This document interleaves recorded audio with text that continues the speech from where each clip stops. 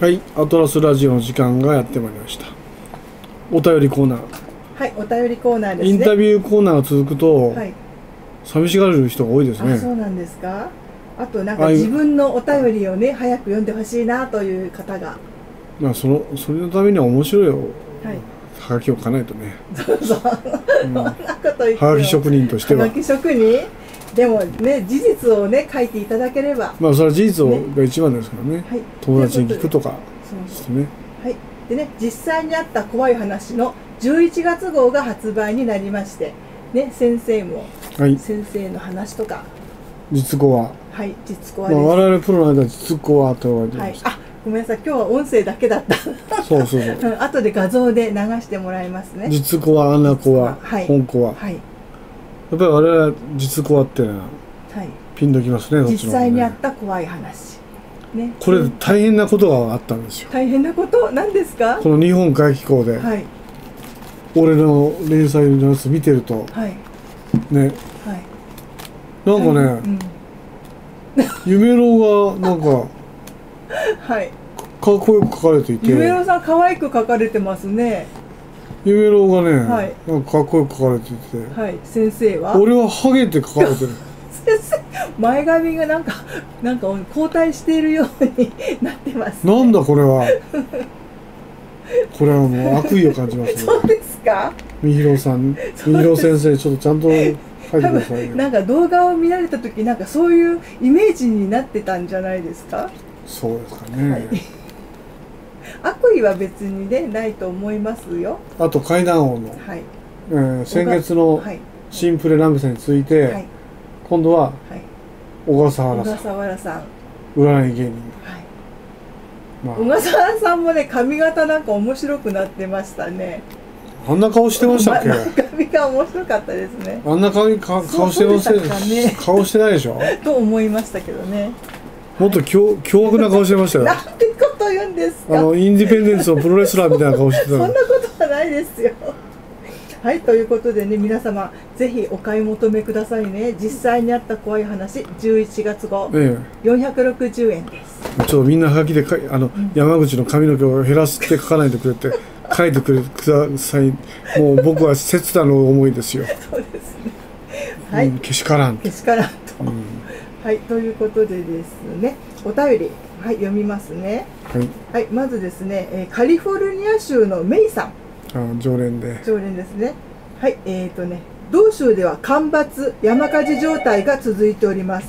うん、私はおかげさまで元気にしております。うん本日は911から20年目ということでメールさせていただきました。うんということでですね、ちょっと 9, 9月の11日頃のメールですね。うん皆様は911当時はどうされておりましたか？私は同地で早朝ニュースも見ず仕事場に行きました。その日9月11日は新しい仕事場の初日で半日のみの勤務でした。うん。当然仕事場に着くとみんなワールドトレードセンターの話で持ちきりでした。いろいろな方々のさまざまな意見を耳にしながら午後帰宅しニュースを慌ててみました。テレビの画面から見る想像を絶する光景に頭が真っ白になりましたその後数週間アメリカは鎖国状態になり以降ありとあらゆるところで迷彩服を着た軍人さんの姿をよく見かけ厳重体制が続きました。あれすごかったですよね。あの爆発してはい。飛行機が突入した瞬間はい。なんかあの破片が飛び出すんですよ、はい。その突入してはい。箇所からビルの、はい。えピョーンって飛ぶんですよ。えはい。それがねモスマンじゃないかっていう指モス摘マン。という指摘があるんですね。はい。なるあとね炎上する炎の形がはい。サタンの顔になってるんですよ。えでこれはちょっとどうかなと思ってね。えねえなんなんでしょうね。うん。はい。ちょっと私もそれ見た時にこれって 実際に起きてるのって本当に思そういう意見もあるんですよ、はい。あの実はあの飛行機は特攻してないと。はい。え？ペンタゴンに突入したのは、うんはいミサイルはい。であって飛行機ではないと。はい。飛行機が突入したにしては、はい。その何？ペンタゴンに開いた穴がはい。狭すぎるんですよ、はい。ね、この幅が。はい。もうちょっとあるべきなんですね、はい。そう本当に狭く突入してるだけだはい。とだから、えまあもっとまあこう実際見てる人いないんですよね。だだって東京うん。東京タワーの横歩いてる人ではい東京タワー見上げてる人何人います？あ普通見上げませんね。みんな普通に見上げないじゃないですか、ええはい。でなんか轟音がしたなと思ってパッと見見轟音がしたなと思って見るでしょ、はい。そしたらもう煙がかかってると、だからばあの轟音と爆破ははい。ねインチキ業業者がに化けたはい。テロリストが爆破したんじゃないかと、まあテロリストなのかはい。まあやらせのアクターじゃないのか、はいそういろんなな説がありますよ。はい。でうん。あのあのビデオ自体はい。CG で作ってるらしいんですよ。え？ビルを CG で作って？違う違う飛行機を。あ飛行機を。飛行機がは突入するシーンがはい。作られてる CG で。だってその証拠にいはい。こう突入した瞬間はい。最大でつビルに突入したら飛行機の先頭潰れるじゃないですか、はい。潰れないままい。形がビュッと出てる、それはおかしいですねこれは絶対おかしい、うんやらせじゃない。ですね。ええちょっとね私たちはなんかニュースで何を見せられてたのかなと。ニュースだからね本当のことだと思っちゃいますけどね、いやだからね、うん。まあこういう陰謀論を口にしたらね、はい。やっぱりそれは考えすぎだよという意見もあるんだけど、はい。やっぱ疑いたくなるような事件ですようね、んそうですね。でもあれアメリカは相手に殴らしといて、はい。お返しだこれは正義の鉄拳だって言ってはい。相手を殴り殺しますからね、はい。相手に軽く殴らしといてはい「死ね!」ってやっちゃう なるほど。そうなんですか。うんだから、はい。とんでもないですね、うんちょっとね真実がねどうなんだかなという。うん。はい、えーとですね、近所ではアメリカ国旗を家の前に掲げている人々がすごく多くなりました。ゴッドブレスアメリカというフレーズばかり耳にし、ゴッドブレスア all the people in わかります？英語と英語得意だっちょたんじゃないんですか？っと待ってください。英語は苦手でございますよ。何？なえだって海外の手紙書いてる時に、はい。私を誰だと思ってるんですか？私を誰だと？そうです。だって、ね、できないと思ってたでしょ。え？はい。できないと思ってたですよ。いやねまあ最低限の最低限のことはできると思ってましたけどねそうですか？そうそうなあからさまになんかできねえだろうみたいななんか圧を受けましてね。はいとということでいいですよ。はい。はい。はい All the people in the world ではないのかと感じました。個人的に納得がいかなかったのは多くのコメンテーターの方々が911と日本の真珠湾攻撃を比較されていたことです。うん。私は日本人なのでどうしても日本びいき目日本びいき目で見てしまいますが戦争を仕掛けるのとテロリスト行為はやはり同じものなのでしょうか？いや同じじゃないですよ。はい。これは断固として反対します。はい。あのにあの真珠湾攻撃ははい。宣戦布告をあらかじめしたんですよ、はい。ね、それがあの日本の職員側のミスでちょっと若干遅れてしまったんですよ。だから不意打ち奇襲攻撃になったんだけど、ね、あれもアメリカが日本にはい。日本が攻めてくるぞってことを情報知っててやらしたんですよ。はい。その後20倍30倍にしてお返しするために。だからいつもの手なんですよ。うん。これは。はい。もうイランに対して今それ散々やってるじゃないですか。はい。でイランはその点乗らないって感じになってますけどね。い。やだからね、ちょっともうアメリカ政府うん政治家も考え直す時期に来てんじゃないのかな。はい。だってもうやっぱりおかしいですよ。なんかはい。なんとなく。はい。だって事故の時証言する犠牲者はい。涙流して「うーうーうーって言ってるおばさんとか。はい。違うニュー事故現場ですよ。はいカリフォルニア事故現場はい。ロサンゼルスの事故現場、ぜぜ全部そのおばさんで。えそうなんですか？あれは、はい。はいあの、えニュースアクターですよ。あえー。クライシスアクター。ああのクライシスアクターといって、えあのそういう危機管理のこういう危機を演出するはい。役者さん、役者さんなんですか？そうなんですよ、へままあうん。それはもう明らかに写真でえ比較されてもう、はいこの人この人同一人物だよねって。ええでこんな毎回こんなに毎回この人この事件に合わないよねってええ。言われてるんですよ。そうだった日本でもそうですよ。え日本でもですか？どこの曲か言いませんけど、はい。あの全部比較されてました。じゃあそのこの人はうん。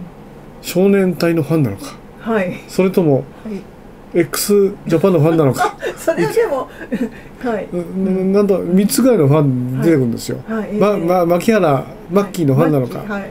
マッキーが捕まって残念ですって。はい。少年隊解散しちゃったとかなん。か、はい。なので同じ人ですか？同じ人。えーこれ仕込みじゃないかってはいえだからニュースがね、仕込みがあるっていうのはよくあることなんだけど、はいやりすぎですよ。ね。ちょっと私たち何を信じていいかわかんないですね。何も信じちゃダメですよ。あらニュースはなんか真実かなって思っちゃうんですニュースは作られるもんですよ。あそうだったニュースと世論は作るものです。ええそうですか、だってねうん。まああれですよ。あのニュースを下ろしてる会社ってあるんですよ。ニュースを下ろす会社。下ろす会社があはいるんです、え。我々がオカルトのいろんな、えまあえはい。企業の、まあプランはい。イベント番組を作って作ってるじゃないですか、はい。それと同じようなことをやってるニュース専門制作会社があって、はい。えそこが同じ切り口でもはい。な名前出していいですか。うまあカットしましょう、はい、うんまあ暴曲も、はい。暴曲も暴曲も全部同じ。っはい。ていう感じでやってるんですよ。あそうなんですか。だいぶね私なんか信じやすいタイプなので騙されまくっていきましたねそしたら。まあ、はい。まあみんなうん。そのあのクライシスアクターで検索してください。はい。あの全部出てきます、クライシスアクター日本とか。はい。えクライシスアクターアメリカ、えクライシスアクターアメリカなんてもっと派手ですよ。はい。ハリウッド映画が派手だから。はい。えあのえはい。マラソンの時に爆破事件あったじゃないですありましたね。はい。かなんか兄弟二人組の男がはい。紙袋を置いて、はい。えでえはい。足足が一つ吹き飛ばされて、はい。死んでる苦しがってる人がいた,、い、たんですよ。はい。でそれを役者。ええそうなんですか。足飛ばされるわけないですもん。ええその人もともと片足の人ですから。ええもともと片足の人がうんこここから血のりをつけて、はい。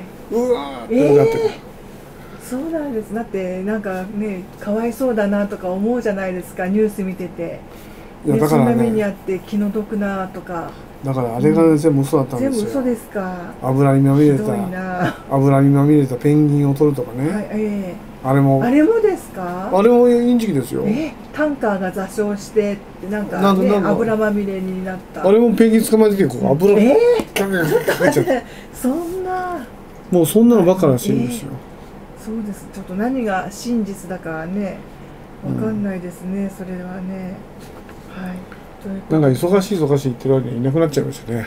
あそうですか、まあちょっと、うん、ちょっと用事社員 S のやつ。そうそうす席外してるんじゃないですか。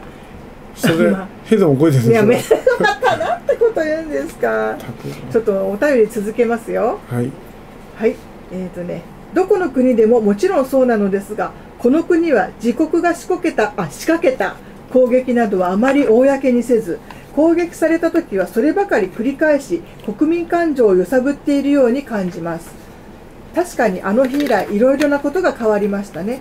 特に不思議体験ではありませんがメールを送らせていただきました。最後に911災害に遭われた方々とそのご家族ご友人の皆様に心よりお見舞い申し上げます。ということでさっきですね先生がおっしゃってたことと同じようなことも書かれていますね。そうですね。いろんなことがありましたね、はい。ますね。9.11の闇ってのは深いですよ、ねはい。うん、もうね20年も経ってしまったんですねあれから。9.113.11はい。でもおかしいですよね、こうゾロ目ゾロ目でゾ食っちゃうと。ロ目ですねはい、うん、だから、うん。フリーメイソンとか、はい。ええ。闇の勢力はゾロ目が好きだっていうらしい。ですよ、うん。なるほど。ねこんなめちゃくちゃなこ世の中があってもいいのかなと思っちゃうんですけど、どうね、どうなんでしょうね。はい。まあ陰謀論ははい語るとお大きくなりますからね、はい。うん。はい。ということでもう一回えっ、とメイさんからありますね。はい。はい。えっ、とねあまり珍しくないと思いますが私の比較的最近体験した話をお読みください。はい。ある夜うとうとと眠りにつこうとしているとベッドの横にいわゆる生き量という表現が正しいのだと思いますが家族の生き量が横に立ちはっきりと何か私に話しかけている声が聞こえました。うん。以前日本にいる家族の声をえカリフォルニアにいながら聞いたことがあるという体験を投稿させていただきましたが今回も同じような体験です。うん。それは家族のものの声そのものでしたがその時はあまり深く考えずというかその少し前に電話で話をしたばかりだったので特に何か起こったとは考えがたく深く考えずそのまま寝てしまいました。どうしたのかなとは思いましたがその翌日日本から電話があり家族の一員がある病気にかかり治療しなければならないことそのために仕事を辞めざるを得ないなどが昨日発覚したということを知らされました。うん。大体その話が発覚したのと私の生き量体験と同じ時刻だったようでなんだかなやはりかという感じです。生きるは誰がだったんですかね？ねそうですね。家族の一員のどなたかですねきっと。うん。はい。いいことなら嬉しいのですがそうでないことは辛いですね。ということでうん。私の些細な体験をお読みいただきありがとうございました。ね生き量ちょっと私も生き量はね見たことがないけど生き量かなと思うのはね、うん。はい。あのうちが住んでる家あるじゃないですか、はい。あそこの家家にはい。アンパンアンパン幽霊で出るアンパンんですよ、幽霊？うん、肉まん幽霊。肉まんだ。肉まんが好き。肉まん肉まんをかじりながら置いてあくなんか聞いたことがあるかも、る、はい。うん、であの、はい俺2回23回見たのかな。はい。俺できなこが吠え黙って吠えてる時もあったし、はい。でもこれやばいなと思ってまあうん。成美月花に払ってもらってや払いしてもらったんだけど、はい。でもうそれでもうきなこが吠えることがなくなったんですよね、はい、え肉まん食べながら出てくるんですか？そうだ2回、えー？それね、家にあの夫婦もんに貸したんですよ。はいえ夫婦もんに、えはい。そしたらはい。奥さんがはい片目の男と逃げたんです。よ、固めの男と逃げた？うん、そしたら隣のえブラジル人のえブラジル人の方？ブラジル人かアルゼンチン人かわか、はい。チリ人か分かりませんけどどっか南米のあのはい辺りの、え。お奥さんがいるんですよ、えはい。あの子供2人、はい。ハーフの子供がいてはい。日本人のお父さんで。はい「はずまさんうんはずまさん最近テレビ出てるやろね」とか言うおばさん。ちょっと待ってください。なんか喋り方が中国っぽくなって 出てるあるねって言うんですか？出てるね うん。はい。固めの男とうん。お宅のうん。家借りてた人、うん。奥さん逃げた、うん。へ逃げたよ、えはいねえ困っちゃいます。ね 固めの男と逃げた別に固めとかそれはないけど奥さんが他の男と逃げるのってね大問題ですね。大問題ですよ。固めの男ってなんか江戸川乱歩っぽい、そうだ推理小説っぽくないですか？そうですか？ねはい。特に別に目がちゃんとあってもなくてもあのね奥さんと逃げてしまうのは、不倫関係になって逃げて、ね逃げちゃってで残旦那さん旦那さん。は仕事もできないくらい体が弱っていて肉まんをえはい一唯一一日のはい。エネルギー源にしていたあじゃあその方が出てきてたんですか？そうそれえー人がうん。いつも電話をしてはい。近所の和菓子屋に「肉まんできたか？わ和菓子屋に肉まんって言うんですか？あ今から買いに行きますか？はい。じゃあ吹かしてきますよ。はい。頼む。え。ではい。よろよろよろって肉まん買いに行くんです。はい。ああ今日も買いに来たよって感じで,、はい。でその人がはい。家中をはい。キエーってもう叩き壊してはい。最後頭おかしくなってその人、はい。えすごいですよ。家中あちこち壁紙が破れてるし、ドアノブはお折れてるしかかと落としてもしたのかな。かかと落としおい。アンディ・クークかと暴れ回ったんですね家中ね。暴れ回っ規制をて発しながら暴れ回っていた。そう壁に穴が開いてるし。奥様が逃げたショックからそういうふうに狂っていったんでしょうかね。でしょうかね。いやー大変だ。それでおかしくなってしまって。うんええそれではい。それ以来、旦那が姿を消して、はい。しばらくはい。生き量が出てましたあ生き量が。肉まん幽霊はいええ。まあ飼料だったのかなもう。もう亡くなってたんじゃないですかねその頃はね。肉まん。ええ。いまだに肉まんに執着してたんでしょ。執着っていうか最後に食べてたのが肉まんそうだからへえ。やだな俺。縁の下に死体が入ってえ入ってた人は嫌だなと思ちょってっと待ってそその旦那様の死体とかはちゃんと片付けたっていうか処理されたんですか？わかんないですよ。えわかんないったって。どこ行ったかわかんないのよ。えそうなんですか？どこにもいないんですよ。じゃあ意外とね床下掘り起こしたら不動産屋とうん。一緒にはい。俺が大家の俺が行ってはい。探したけどいないし。いないんですか？え？えこれどうしようとど思って。どうしたんでしょうね。まあしょうがないから俺とかみさんではい。家の中清掃して、はい、ええ。全部直して、はい、リフォームして。自分たちでやったんですよ、はい。金がないから。はいでまあしょうがないなってことではい自分住んでるんですけどね。今住んでるんですか？今住んでますよ、ね なんか怖いですね。え、時々俺肉まん食いますよこれ。多段分横に立ってるんじゃないですか？肉まん。肉まん肉まん好きが。はい。そういう生き量の話です。生き量の話でしたね、生き量だからちょっとなくなってるかわかんないけどね、うん。はいということでですねえーカリフォルニア州のメイさんどうもありがとうございました。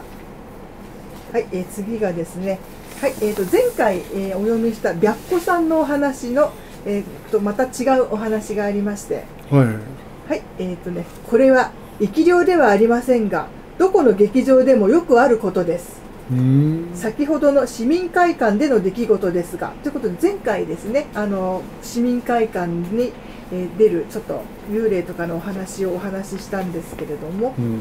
はい、えー先ほどの市民会館での出来事ですが、1年に一度1週間ホールを借り切って、毎日朝から夕方までピアノの発表会が延々続く催し物がありました。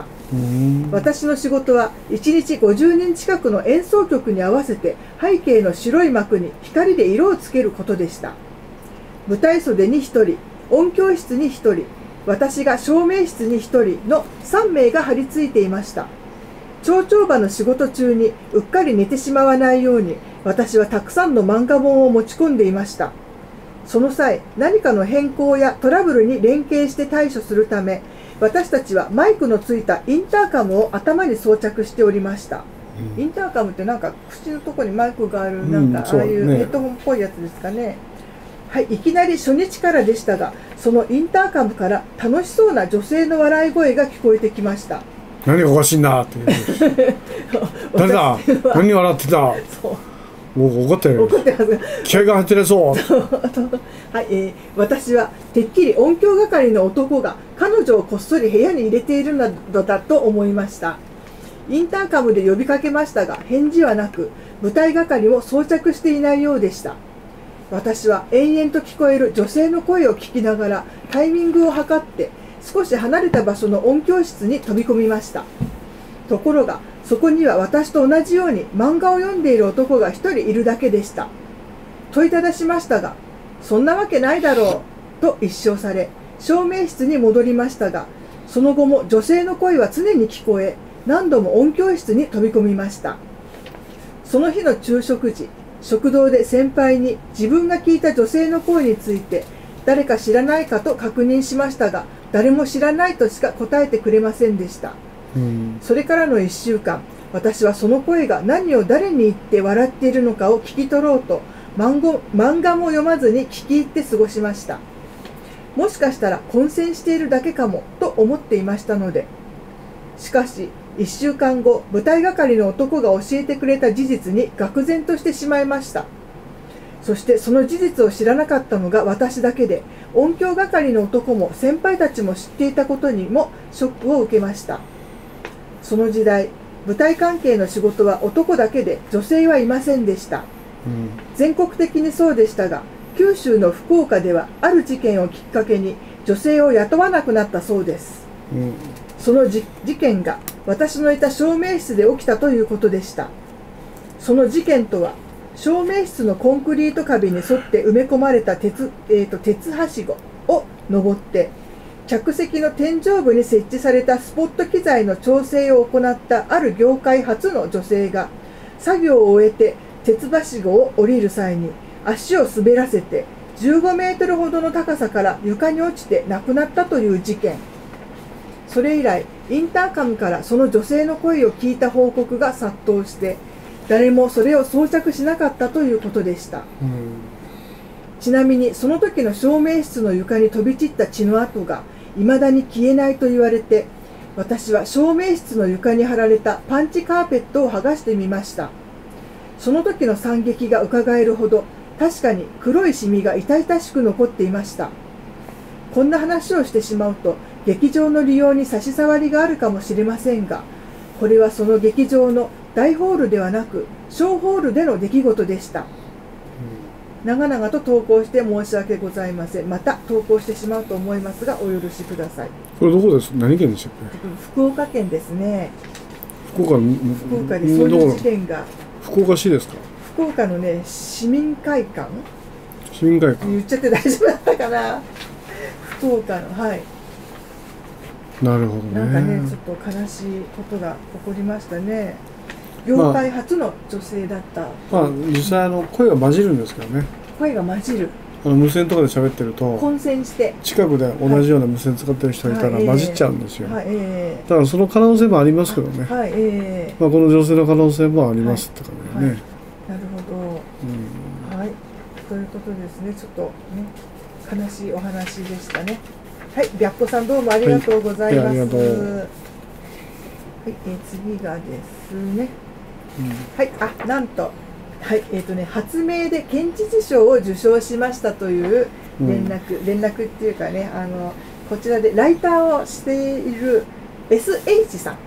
うん、SH さんとか言ってでも前回もねなんか賞を受賞したということで紹介しましたので素直に名前記呼ばない憶に、名ね、あ前る方も。ん。素直に名前言えばいいのにね、どうしたんでしょう？照れちゃってますかね。うん。はいということで9月11日12日に開催された伊勢崎市の発明展で最高賞の群馬県知事賞を受賞しましたあすごいです最高賞ですってうんはい、えー路上や電車内、店舗で刃物や不審な液体で襲われる事件に対し、とっさに身を守れる手提げカバンです。新聞にも載りましたが、隣の記事が竜や小人の絵画展なので、オカルト的な偶然かもしれません。季節の変わり目ですので、くれぐれもご健康にはお気をつけください。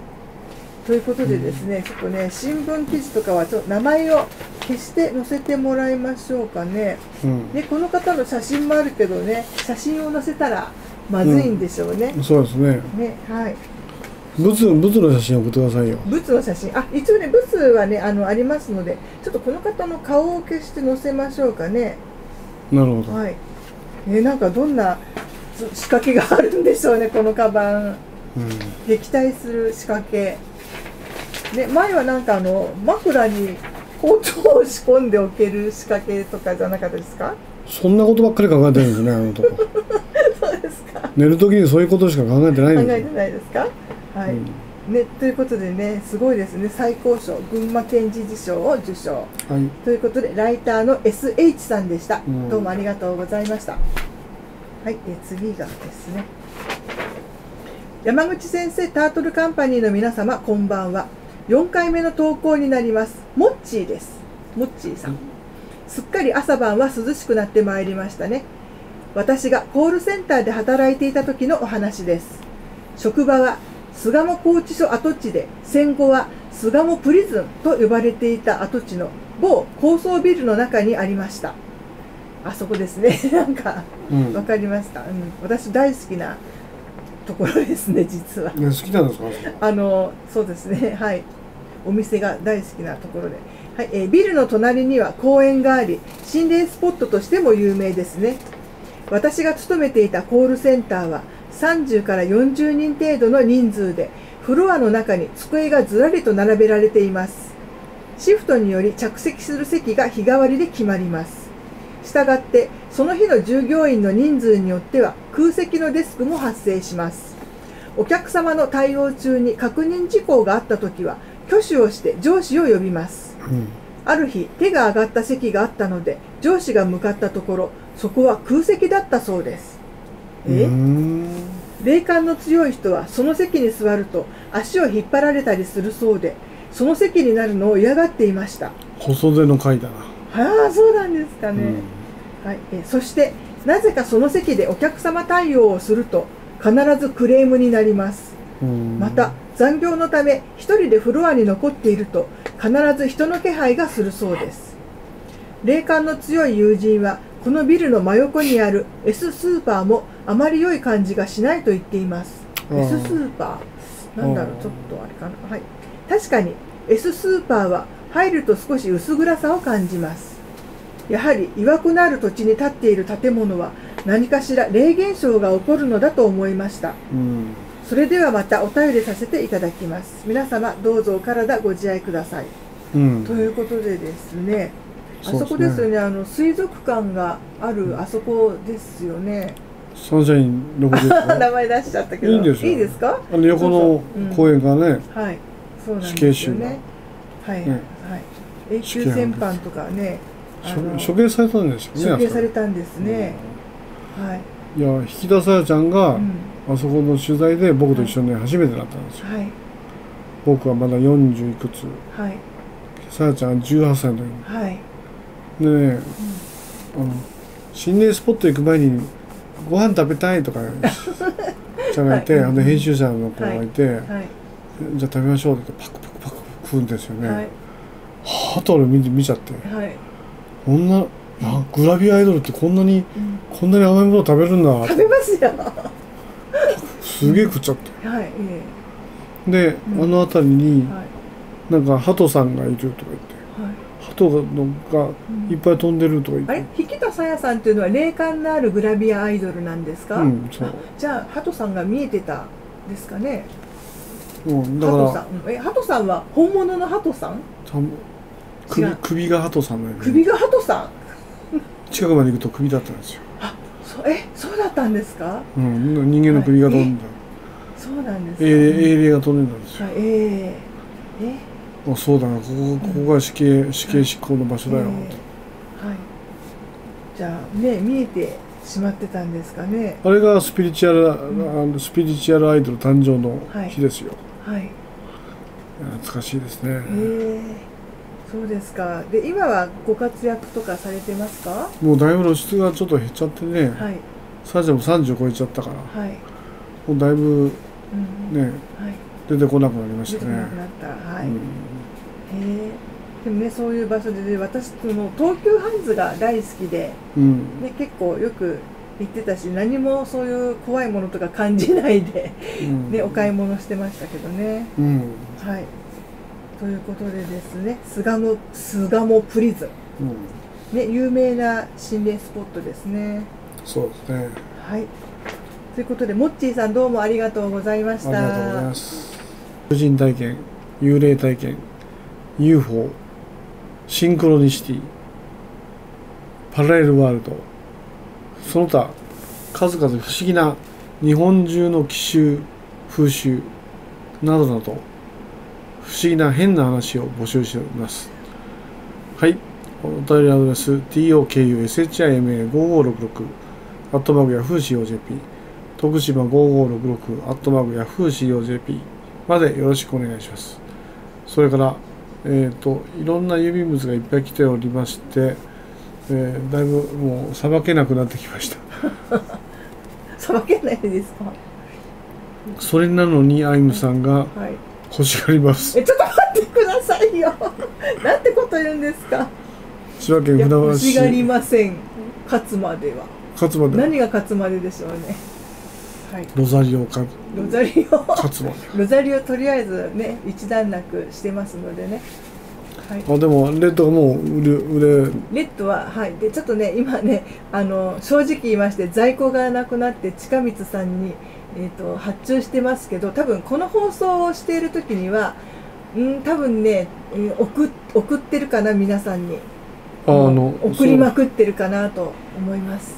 もう変に赤残っちゃうじゃないですか。赤ですか？いや変に残らないようにちゃんと数とかを確認して大丈夫ですか？大丈夫です。あとはねちょっと入金遅れている方でまあえっ、と,、えー、とそうですね。体の具合が悪くて入金遅れてる方もいらっしゃいますので、うん。あんまりせかさないようにしようとは思いますあとですねあのご案内を差し上げててもなんか迷惑メールに入っちゃったか何かでうん。気がついていない方がいらっしゃるかもしれないので、うん。ちょっともう一回ご案内とかが来てないか確認していただいて、うん。でもし気が変わってキャンセルするようだったらちょっとキャンセルしますってご一報いただけるとありがたいですね、そうですか。はい、いやいやさっきあの梱包資材をうん日本図に勤めてる俺の弟はい、に弟さんね。注文を出したりね、弟さんなんか優しい声の方ですね。あれ？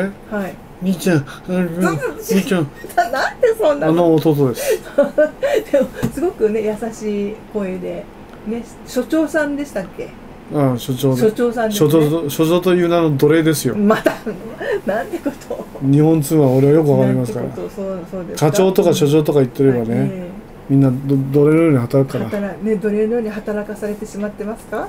そうです。はいじゃあ頑張ってらっしゃいますね。みんなこのね、はい。この資本主義社会のね、うん。無駄な構造に気をつけなきゃいけないです 見破らないといけないですよ。はい。絶対に我々ははい。金持ちにはなれないです。そうですか。そうなんです。はい。全てこの世界、闇の勢力が支配してるんです。ね。はい。はい。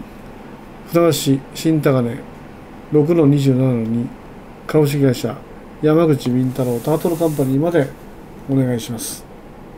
よろしくお願いします。それからえっ、ー、とねサイバーアトランティアメールマガジン闇の勢力のことをててんこ盛りで書いてますよ。今日言ったのはもうほんのわずか。もっとボロクソ書いてる。企業名書いてこの企業がこんなことやってた。こいつがこんなことやってた。もう全て明らかに読むのが怖くなるぐらい。これ読んでることを私が読んでることをバレたらどうしようって 思うぐらいのことを書いてます。はい。もちろんリーク情報を待ってますのでサイバーアトランティアぜひお読みいただければ画面のこの辺りに出てるかなと思いますけど。それからアトラスニュースは無料で読みますので可愛らしいニュースをゆうまちゃんとねはい。宇宙人ちゃんと 心霊ちゃんと。ちゃん付けですね。もう楽しくはい。ユーマが出た。うんうんうん UFO が飛んだ宇宙人が出た。っていうのほんまかいなって思いながら 読むんですか？そうです。ね。僕と東京スポーツ三浦部長が毎日話してるようなことです。はい。本当仲良しですよ。はい。毎日もう毎日でもそういう話はしませんからね。はい。え？ビッグウッドの指ですって？いいですね。あ言ってましたねいやで私本当にあのミイラが届いてからなんか先生がみるみる体調を崩されていったように感じていまして。いや大丈夫ですよ、でミイラが今、えー、とどこだったっけ？妖怪博物館？うん、に行ってしまったからちょっと先生が回復されたのかなって勝手に思って。じゃあ相馬相馬館長ボロボロな。ボロボロです。そうななっちゃうでも相馬館長は強靭な体力をお持ちになってギタリストだから。そうそうそうなんか意味ありますか？ギター侍だから。ギター侍だから？あれが元祖ギター侍ですよ。あそうですか。侍の格好してギター弾いてますよ。そうのだったんですか、ええ。あの最初の。ええ。へ「昨日つけたななななな」とかえ、うん、ええなんかそんな歌穏やかな曲調ですねうんはい、何だったかなうん、旅立つ旅立つコブラコブラツイスターズコブラツイスターズねはい旅立つはい。旅立つ君の姿を、ん。君をなんとか なんとかとか歌です。ねよろしかったらじゃあコブラツイスターズで検索してみてくださいね。YouTube とかね私もでも見たことあったと思いますよ。確か。ええ。はい。まああの、今妖怪博物館の館長館長やらされてますけど。からねはい。今頃指の指の呪いが、呪いが 呪い跳ね返してもらえるよううに、ん、呪術戦ギターで争跳ね返す。ギター侍だから、はい。うんそうだギターねでねはい。はい。ということで今回お後がよろしいようで、また不思議の世界であなたとお会いしましょう。See you again はいさようなら。バイチャー。バイチャー。バイなら